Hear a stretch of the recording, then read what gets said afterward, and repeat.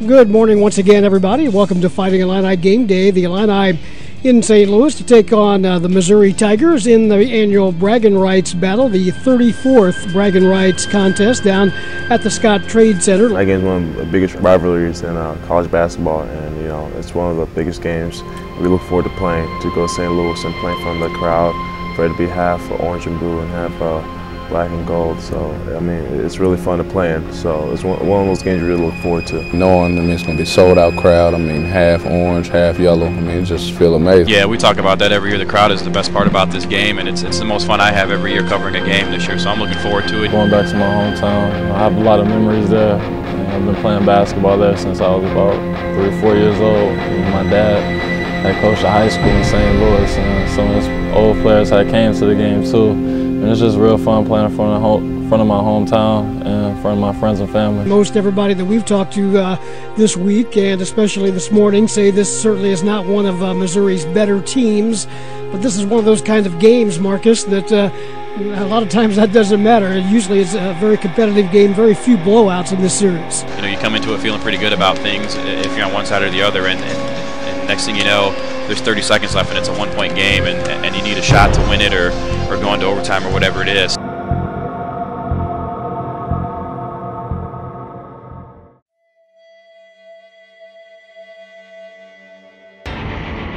Everybody's got to put 100% effort all the time, and once you get that, then the other stuff can take care of itself. Making sure that you're there for one another, you're looking to your left and looking to your right, make sure you take care of each other.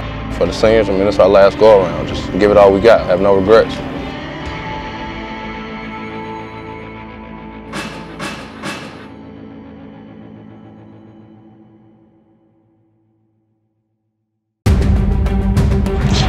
Good afternoon. Welcome to St. Louis, the Scottrade Center, downtown St. Louis. It's the 34th annual Bragging Rights game. Illinois and the Missouri Tigers as we meet again before Christmas in St. Louis. The Illini come in at 8 and 3, the Missouri Tigers at 5 and 5. It's a big game. It always is. And you know it's really big because John Groce, he broke out the orange coat again. I was going to say, if you thought I was excited two minutes ago, seeing the orange coat, I'm really ready to go.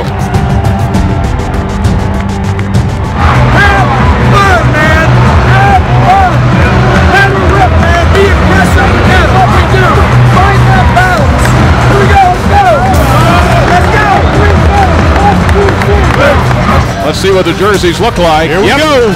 It's the Fighting Illini throwback jerseys. Look at this. Fighting Illini, they're in white. I think I'm back in 1989.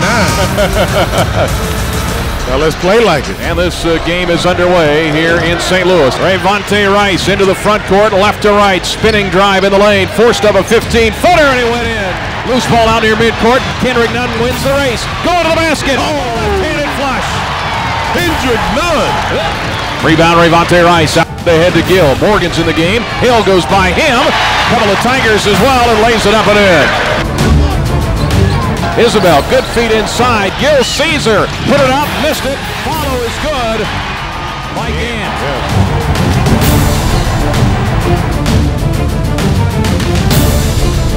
Here's Nunn for three. Got it. Well, that took care of that. Now to Kendrick Nunn. Left wing gets it to Cosby. Cosby to Starks with eight to shoot. Starks, left wing, up for three. Got it. Big shot. With two, with one, and the Illini lead here at the half. 32-30 over the Tigers. It's a heavyweight fight. Tied at 32, 16-10 for the ball game. Here's Starks, pull up from 15, good. Rebound, Hill saves it inbounds off of Missouri. Great hustle by Malcolm Hill. Starks, top of the key, dribble drive, pull up from 10, go! Ahmad Starks has found money here in St. Louis.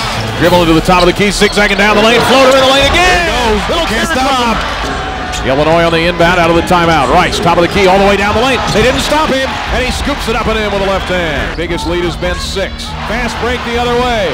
Allen underneath to Williams with a layup, and he got it. Talk about it, Brian, the next these last three or four minutes. What team imposes their will? And right now it's Missouri imposing its will on the Illini. Timeout, Illinois. Starks to Rice. Long, long three. First three of the game. On the left wing, deadlocked at 50. 6-14 left. Williams to the basket. Layup. Good.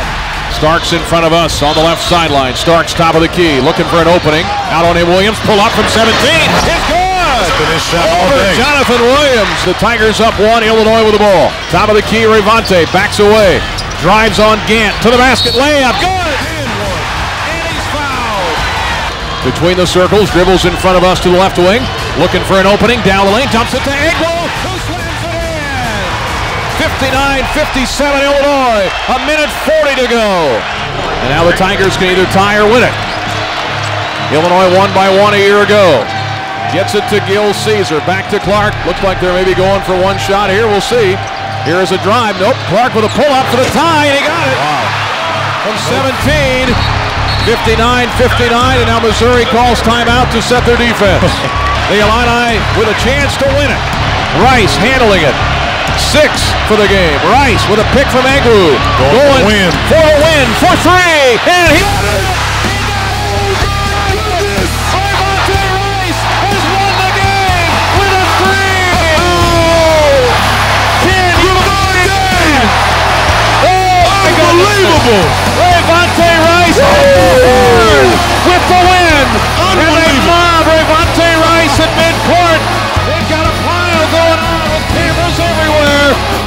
uh, told me to be aggressive, and if I get a shot, take it. And I just felt like uh, dude gave me a little bit too much space, and uh, just knocked the shot down. And there's the trophy.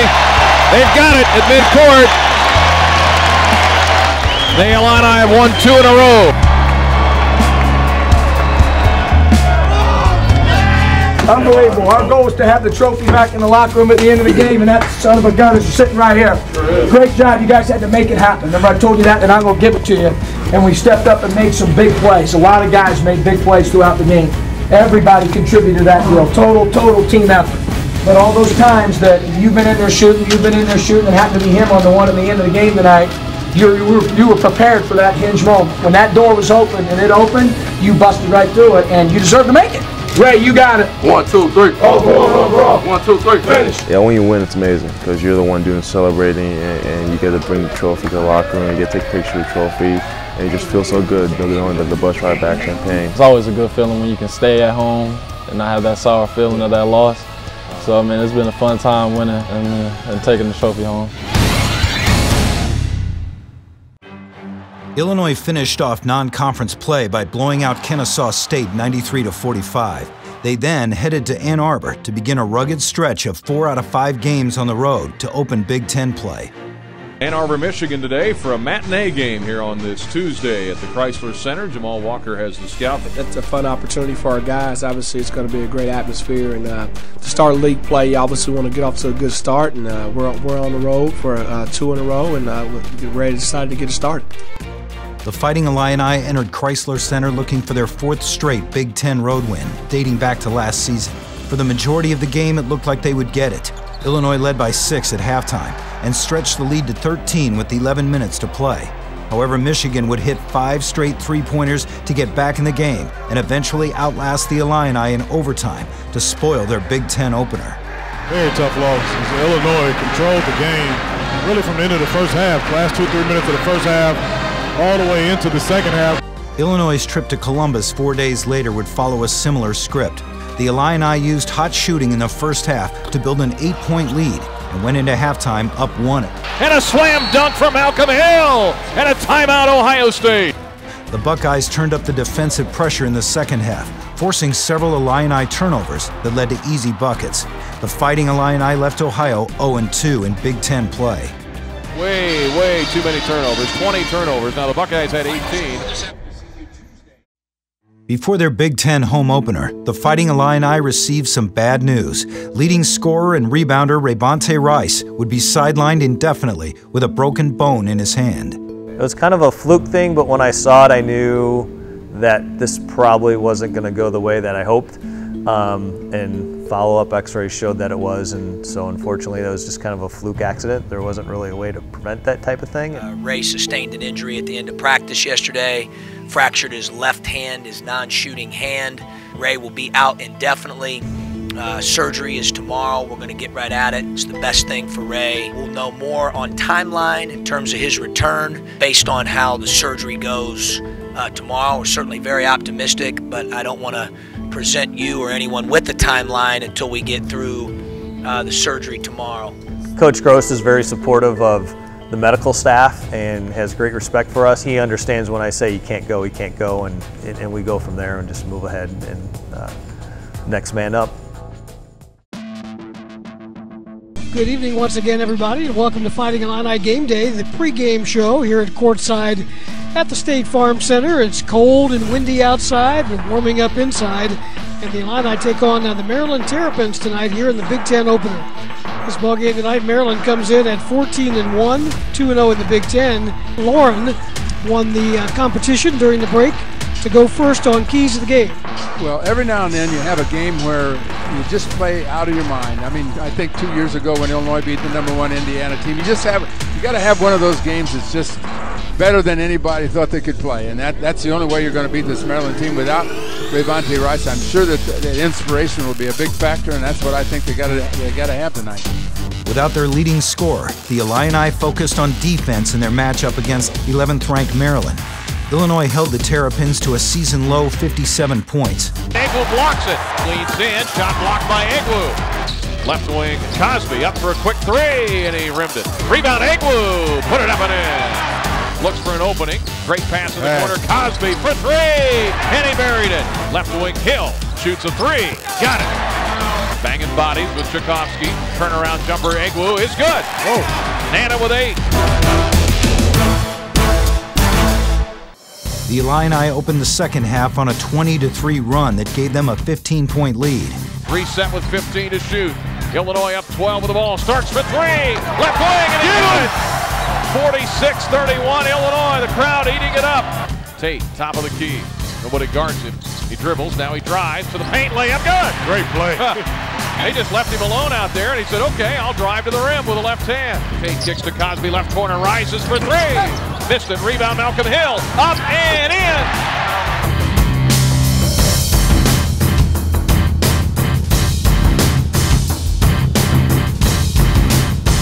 Trimble drives. Layup blocked by Egwu. Tate drives, kicks to Nunn. Right corner, three ball. Missed it. Mel Hill with a follow. Malcolm puts it up and in. They went 8 of 8 from the free throw line down the stretch to seal the win. One second left. Jaylon Tate dribbles it out. And the Illini have won it. 64-57 over Maryland. Great job. You really competed your tails off, fellas. I'm proud of you. Really am. I thought we played really hard, as hard as we played probably all year, throughout the 40 minutes. You know, I thought, uh, thought guys really, really, especially defensively, gave a lot more. Gave a lot more of themselves. And that's what it's going to take moving forward. We just finished round three. There's 15 more rounds in season two. It was a big uh, test for us to see how tough we were uh, as a team. I mean, find that news out, you know, a day or two before the game, and we just knew we had to step up and fill in, fill in like stats for Ray. We had to have people step up to uh, play defense, get rebounds, because I mean he was our leading scorer and rebounder. I feel like um, people have been doing a good job of that, uh, replacing him. Illinois began another two-game road trip with a trip to Lincoln, Nebraska. The Illini struggled to hit outside shots over the Cornhuskers' pack line defense, falling 53 to 43. And Illinois just no firepower in this game. When you guys looked at the uh, schedule and the way the Big Ten season started with uh, four games out of five on the road, and uh, if Illinois wins tonight, they'd come out of that with a two and three record. Would you have taken that, Marcus? Yeah, I think I said that a while back when I looked at it and saw four or five on the road and, and, and looked at the opponents. I thought if you came out of this two and three, that uh, you'd, you'd be all right. I think Illinois might want to try to uh, try to run a little bit and get some buckets in transition. If you're able to uh, you know, get the ball and just get down the court and start running and, and make them run up and down and guard you. And I think if you can get some easy buckets in transition, that'll loosen you up when you do get into the half court and, and, and not be so tight and be a little bit more confident when it when it comes to that.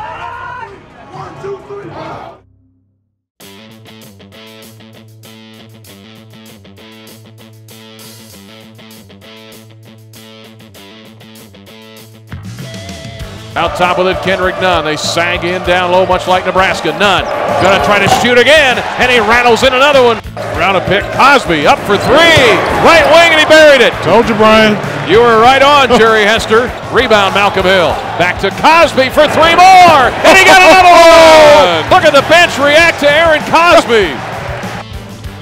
Out top, they find Demp shot blocked by Hill. Oh, great play. by Tate. Ahead to Hill, who slams it in.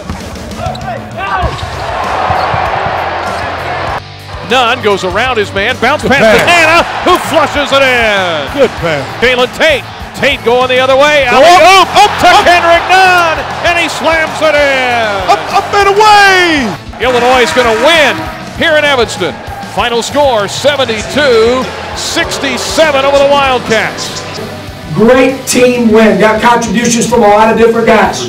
Love the process of preparing to win. Okay? Trace, you got it. One, two, three. All One, one, four. One, two, three. Finish. The Fighting Illini returned to Champaign to play back-to-back home games for the first time in two months. The largest crowd in State Farm Center history cheered them on in their matchup against the Indiana Hoosiers.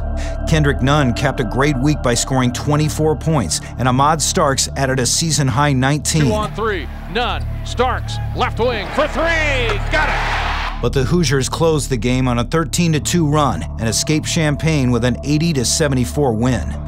But that's three guys who were expected to be in your top eight who are no longer there. It's hard for teams to adjust to that, and I think they've done a pretty good job of adjusting to it, and hopefully they'll continue to, especially against some teams coming up that have had their own struggles.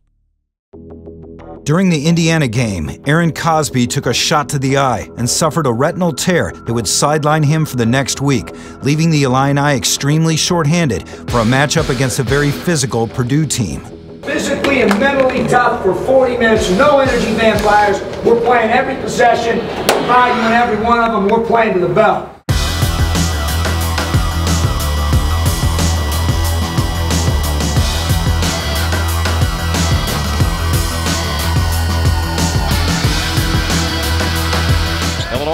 Scored in four minutes. Nunn down the lane, layup, and they take care of that.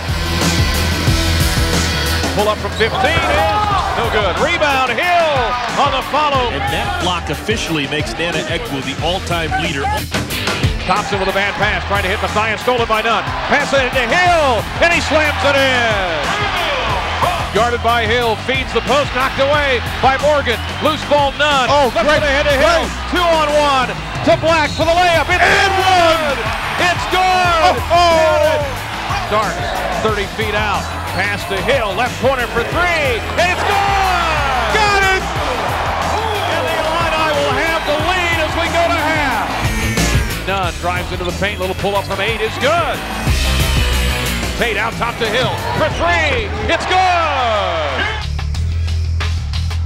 Kicks in the baseline to Hill, or to Black, Black. who buries it. Ahead to Egwu, and he slams it in! And that may do it. And the Illini have won it. Short-handed and all. Malcolm Hill with us here courtside and uh, heard about next man up. This was kind of all hands on deck. I mean, this is one of those that this is a perfect example of always be ready to come in the game. I think we've been doing a good job of that. 66-57 Illinois over Purdue. Man, I think I need a trainer after Wow. that game. That was physical. We're probably in a better position this year than we were last year because last year, I mean, it was tough. It was a seven, eight game losing streak, and we still find, found a way to be one game away from the NCAA tournament. I mean, we got to hopefully we got that groove still going. Just I just want to contribute to my team, help them any way I can. Just do what I'm in there to do, do my job, and everybody else do theirs. We're gonna be good. Keep focusing and keep getting better. We'll, we'll be able to maintain our goals if we keep focused. Next time on TNT. It's all been so happened so quickly. I can't even imagine what it's going to feel like, but I'm definitely going to cherish it, and it'll be it'll be a life-changing experience. Uh, yeah, Smitty. I mean, he's a great player, man. I mean, uh, he played in high school, and uh, he be smacking them when we out here in practice. So. It's kind of funny because uh, we always know, know him as a manager, and now that he's in the locker room, it's kind of funny. I mean, we're happy to have him on our roster.